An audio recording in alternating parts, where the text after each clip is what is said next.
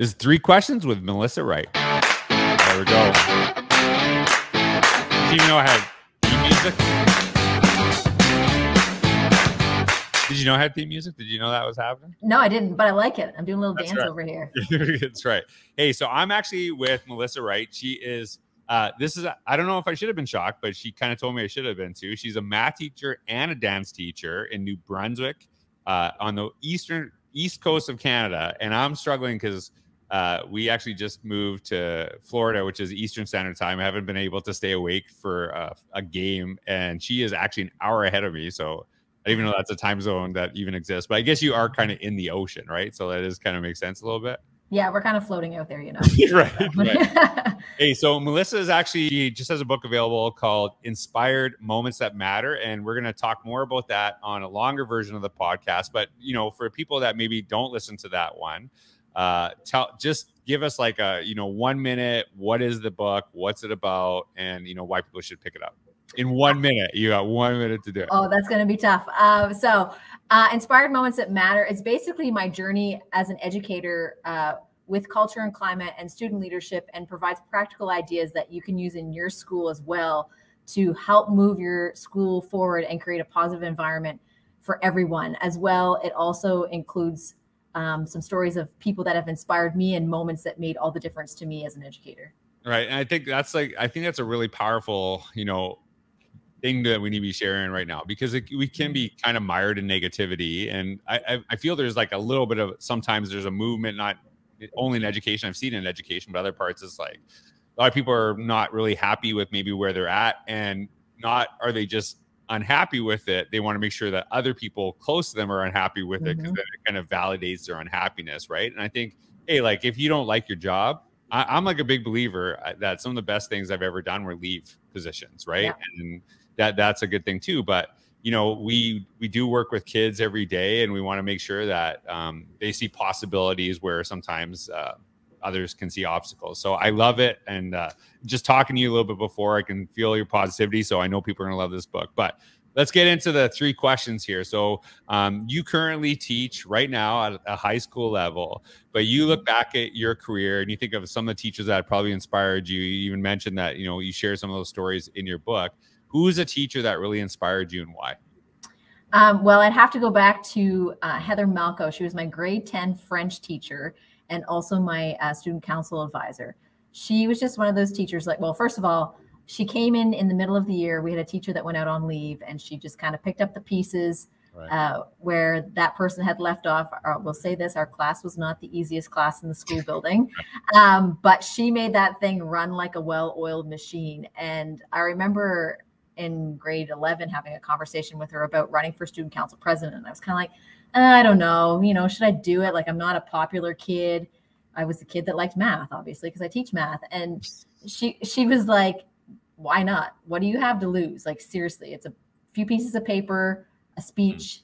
You have nothing to lose. So why not give it a shot? And like that moment was the moment that changed everything for me. It made me think, yeah, like it's not that much that I have to, to that's going to make a difference. You know, if if this doesn't go right, it's some paper, right? Like Mhm. it's not like my whole world is going to be shattered if I don't get in to student council. I could probably get involved in another way. So, and she was always there and always believed in me. And still to this day, she's one of my closest friends. And we work together on the uh, New Brunswick Student Leadership Association. She's the uh, the secretary. So it's really come full circle because she took me to that leadership conference as a student, and now we get to run that conference together. So it's awesome yeah it's just her, it's her belief in me as a high school student and even as an adult to do Mhm. these things um, that has really pushed me forward and kept me going all right so it's heather Malco. am i saying that malco malco, Malco. All right. Yeah. All right, Heather Malco, if you're listening. Air horn, right? So actually, I'm curious.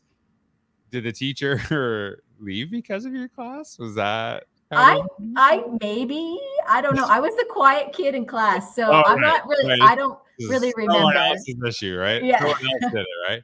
Well, I, I love that story because I think uh, I, I've talked about this quite a bit. Sometimes the biggest regrets we have, we often talk about things that we regret doing in the past, but it's actually things that we didn't take part in. That's right. And if you didn't maybe get that little coaxing, you probably would, you know still think about it a little bit mm-hmm. right and you know not necessarily in a good way is that you didn't take that opportunity right and so you know uh my mom you know she she's always about worst thing in here is no right and then you move on but it's better than you know it's better to hear no than to never know and so i i, I love that so um, we we talked about some of the people that inspired you not only at teaching level but administrator level too. Mm-hmm. So um, you currently teach, you know, at a high school level. When you think of, you know, a great principal, great assistant principal, maybe even a superintendent, who's someone that really inspired you and why?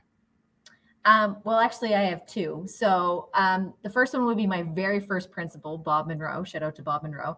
Um, Bob Monroe. Um, just so first of all, Bob Monroe is about six foot five, so really, really tall guy, and um, everyone he's just one of those people that everybody respected, and you knew that he respected you as an educator. Um, you know, he hired me as a first year teacher, and as a first year teacher, he he sent out this email to the whole staff. I remember saying, "There's this workshop on Jostens Renaissance. Is anybody?" interested in going. And I think within 30 seconds of him sending that out, I had replied and said, Yes, please pick me.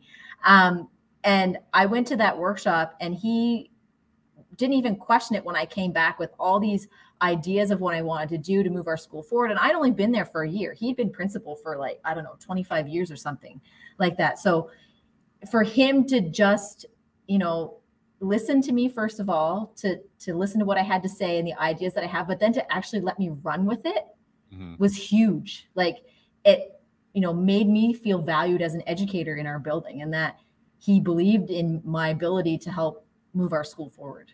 Mm-hmm. Yeah. Well, you know, you know, it's like you know, it's powerful with that. And one of the things, um, you know, I I work with teachers. I, you know, I haven't been a formal teacher, you know, for a while, even though I do teach, you know, classes at the at the university level. Um, but like in a K twelve classroom, and you see kind of comments like, "Oh, like you know, you didn't teach long enough," blah blah blah. And I'm like, mm-hmm you can learn from anybody if you're willing to be open to it, right? Like you can learn from your students, you can learn. And I, I feel like if you actually saying that, how could actually shut up some of your first year teachers? Like they're mm-hmm. not going to say anything because like who am I to share? And I and I truly believe you can learn from your your kids in your classrooms. You can learn from people in their first year. You can learn from people that are almost out the door. Uh, if you're willing to find those things, and I think that you want people sharing those ideas, right? And it's kind of that, and I, and I love that um, he did that because obviously not only did it had it have an impact on you to this day, but yeah. Obviously on the people that surround it. And I know you said you had a second one. So who was that? Yeah. So it's actually my current principal, Joellen Jensen. Um, she's amazing. you kind, of, um, you kind of like have to say your current principal. You can't. right? um, but no, there's one particular line that she said to me that has stuck with me. So a few years ago, I applied for an SPR position. So that's like a department head. Yeah. And I unfortunately was not one of the successful candidates. And so it was one of those things. She called, you know, me up to the office and and you know said to me, you know, unfortunately you weren't the successful candidate. You know, your mind starts racing. you're like, oh my gosh, right. what am I going to do? How am I going to be viewed? Blah blah blah. And then she said to me, but you are still a leader in this building. Right. So that sentence has forever stuck with me to to you know remind me that I don't need a position to be a leader. Anybody can make an impact that wants to make a difference. Yeah, and it's actually I cannot remember who asked me this, but it was like just recently. They said, "How do you define leadership?" And I said, "Leadership is the ability to move people forward in a positive manner.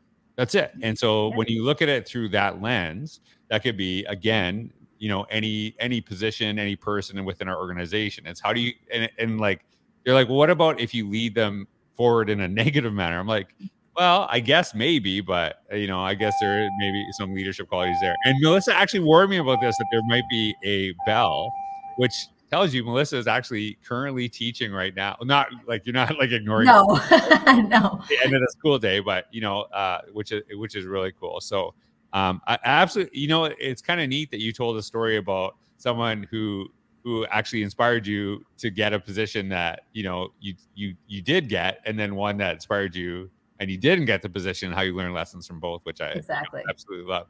And so now um, you, you you've written a book, you've you've done a, tons of different things. You're still currently teaching, but I guarantee that even though you had lots to share when you were teaching in your first year, there are things you could wish you can go back and fix. So, like if you could go back to your first year teacher self, what advice would you give? Um, first of all, never doubt the impact that you're making because you never realize what interaction or small thing that you say to, whether it be to your students and or your colleagues is mm-hmm. going to have on someone because we don't know what anybody is is dealing with or going through at any particular time. And i think to a lot of it is like don't sweat the small stuff. Mm-hmm. that's as a first year teacher you know i felt that oh everything has to be perfect or you know this lesson didn't go well. Oh my goodness it's the end of the world. But you know what? It's it's through failure sometimes that we learn the most right? And we get how we get we get better. Like i remember my department head saying to me and and this for me was a huge moment of reflection. I don't see it as her being negative but her saying to me you know like have you really thought like is teaching what you really want to do? Right. And that just like oh knocked the wind right out of me.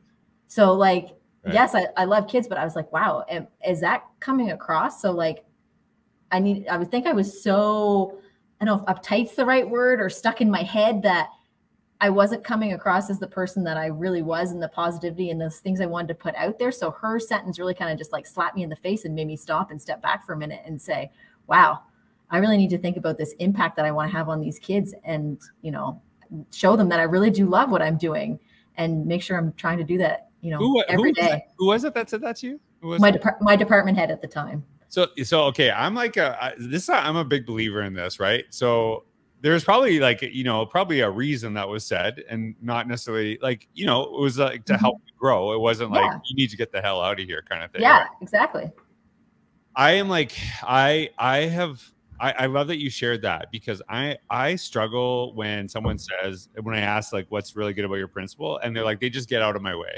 and I'm like well like that's not really that good because they should help you grow right like if they're yeah. you know like you kind of have to pick and choose right? There's sometimes you just get out of the way and let people go. But there's like, you know, I, I think a lot of people leave organizations because they feel they're not growing anymore, that they're not mm-hmm. being mentored. And I think actually some of the best teachers we've lost in the profession have outgrown their organization and it was people just getting out of their way and they're like no i want to be pushed yeah. i want to get better in that too right so i love that that's what you actually shared but the other thing that you shared that i think is really important is that uh, if you truly genuinely care about kids in your first year, that will always have an impact on kids, even though your pedagogy is still, you know, uh, and will always continuously improve, right? And I think that, that to me is is really valuable, right? And it shows like even when we're at our weakest, maybe in our career, or we know the least amount, we still can have like an impact that lasts forever on teachers, like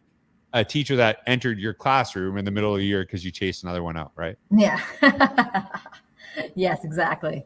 Hey, so thanks, Melissa, for being on the podcast. And like I said, uh, you can actually click the link um, in the description down below. Check out Inspired Moments That Matter. Melissa, thanks for uh, for being on the podcast today, and everyone, thank you so much for listening. That's it, Melissa. That was it.